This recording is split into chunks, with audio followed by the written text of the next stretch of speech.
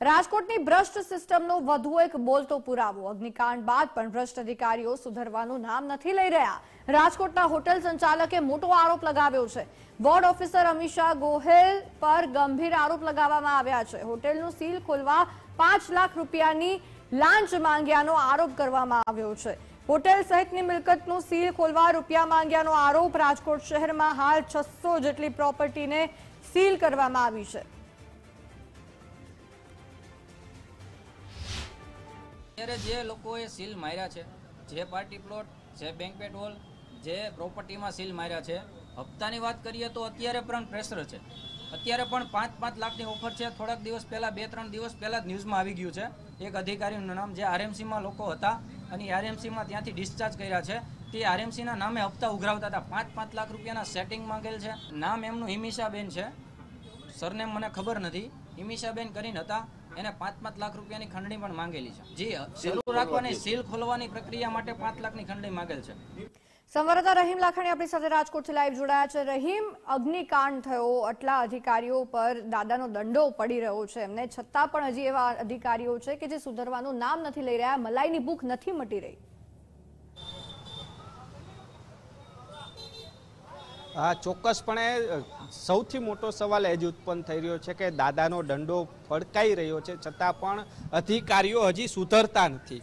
જે રીતના નિયમોનો નેવે મૂકી અને સીલો ખોલવાની વાતો કરી રહ્યા છે, જે રીતના જે હોટલ સંચાલક એસોસિએશનના પ્રમુખ મેહુલભાઈએ વાત કરીને તેમાં કહ્યું કે અમે આજે હડતાલ પાડીએ છીએ, માત્ર કોર્પોરેશનના ખોટી રીતના હેરાનગતિ અને નિયમો, અચાનક નિયમો યાદ આવ્યા છે. અગાઉ હપ્તા લઈ અને આ હોટલો ધમધમતી હતી તેવું પણ સ્વીકાર કર્યું છે ને અત્યારે પણ જો તમે હપ્તો આપો તો તમારું સીલ પણ ખુલી જાય તેવી વાત છે તેઓએ કરી છે.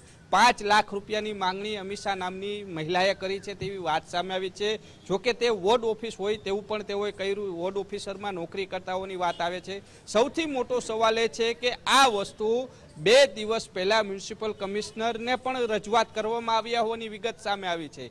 તો પછી હજી સુધી કેમ કાર્યવાહી નથી કરવામાં આવી? બીજી રીતની જો વાત અત્યારે સહેક પણ સામે આવી છે કે મુખ્ય ટાઉન પ્લાનિંગ ઓફિસર હતા, પૂર્વ સાગઠિયા તેની સાથેની પણ વહીવટદાર તરીકેનું નામ છે તે જોડવામાં આવ્યું છે. જે આ પ્રકારના કામો માટે નાણાં લઈ અને આ પ્રકારની સીલો છે તે ખુલાવી દેતી, કોઈ અરજીઓ કરે તો અરજીઓની અરજીકર્તાઓ પાસેથી અરજી પરત ખેંચવાના નામે વહીવટ કરી દેતા હોવાની વિગતો સામે આવી છે.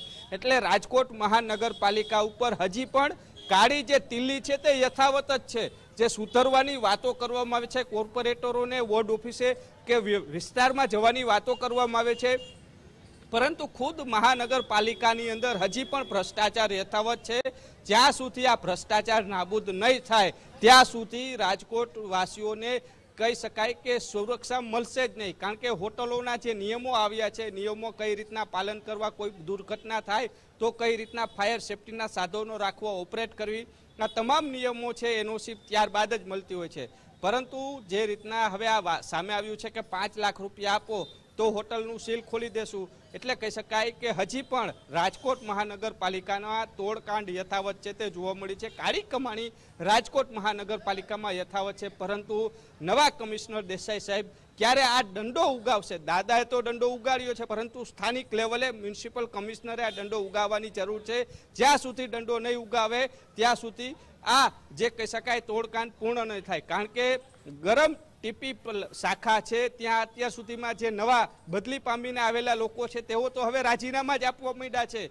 કારણ કે અહીં તો કામ કરવું એટલે રૂપિયા લેવા પડશે કોર્પોરેટરોનું દબાણ આવશે, અધિકારીઓનું દબાણ આવશે, પણ વાડીઓ ગાડીઓ તો નાના કર્મચારી ઉપર જ આવવાનો છે, કારણ કે તેની સહી બોલતી હોય છે. કોર્પોરેટરો તો સહી કરવાની નથી હોતી, મ્યુનિસિપલ કમિશનરે સહી નથી કરવાની હોતી, પરંતુ આ તેના દાબના કારણે ઇજનેરો છે તે રાજીનામા પણ આપી રહ્યા છે. અત્યાર સુધીમાં ત્રણ રાજીનામા પણ ટીપી શાખામાંથી પડી ચૂક્યા છે. એટલે કહી શકાય કે જે રીતના અત્યાર સુધીની સફાઈની વાતો આવતી હતી, પરંતુ આ સફાઈ શક્ય જ નથી, કારણ કે જે રીતના કોર્પોરેટરો અને અધિકારીઓના દબાણના કારણે નાના કર્મચારીઓ પરેશાન થઈ રહ્યા છે, તો બીજી બાજુ વચેટિયાઓ છે, તેનો લાભ પણ લઈ રહ્યા છે. એટલે કહી શકાય કે હજી પણ રાજકોટ મહાનગરપાલિકામાં તોડકાંડ યથાવત છે. ક્યારે દાદા સંપૂર્ણપણે સફાઈ કરશે તેની રાજકોટવાસીઓ રાહ જોઈ રહ્યા છે. જી. આભાર, રહીમ, સમગ્ર વિગતો બદલ.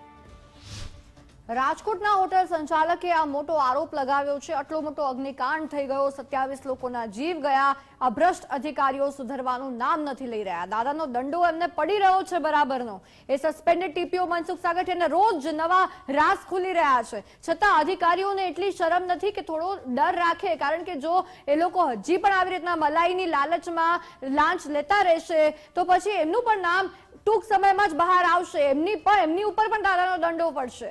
વોર્ડ ઓફિસર અમિત શાહ ગોહેલ પર ગંભીર આરોપ લગાવવામાં આવ્યા છે અને હોટેલ સંચાલકો દ્વારા એ કબૂલ કરવામાં આવ્યું છે કે અગ્નિકાંડ પહેલા પણ આવી રીતના હપ્તા લઈને એમની હોટેલો ધમધમવા દેતા હતા.